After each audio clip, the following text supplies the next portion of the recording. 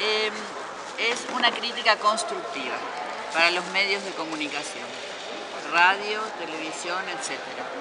¿Por qué no dice, se toca suponete tu polka, ¿por qué no dice polka paraguaya, autor de la letra fulano de, fulano de tal? Eh, compositor de la música fulano de tal. Nadie sabe de quién es quién. acá en, en TV Cámara. O sea, empecemos por ahí, ¿verdad? Hagamos también, ¿verdad? Porque hay que educar a la gente, decir, qué lindo. Yo a lo mejor escuché tu música, pero no sabía que era tuyo. Eh, sí, así es. O faltaple, oñeme, en la tera, mavapa, o yapoa, cuela, obra. Eso es importante para ahora y para el futuro, si no eso se va a perder.